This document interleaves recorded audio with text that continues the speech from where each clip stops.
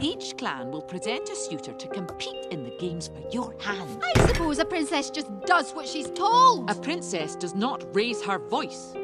Call off the gathering. You're acting like a child. She's a lady. Leave her be. Princess or not, learning to fight is essential.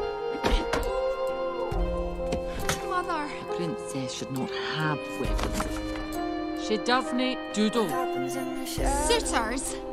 Marriage. You must be understood from anywhere in the room, or it's all for naught. This is all for naught. I heard that. From the top. Speak to her, dear. I do speak to her. She just doesn't listen. Mom. I would advise you to make your peace with this. The clans are coming to present their suitors. It's not fair. Ugh, Merida, it's marriage. It's not the end of the world.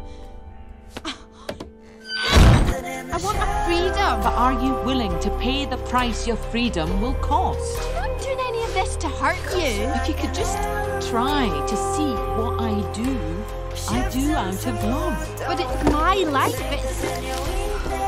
I'm just not ready. I won't go through with this. You can't make me. Merida, I think it's if you could just I think I could make you understand if you would just listen. listen. Oh, this is so unfair.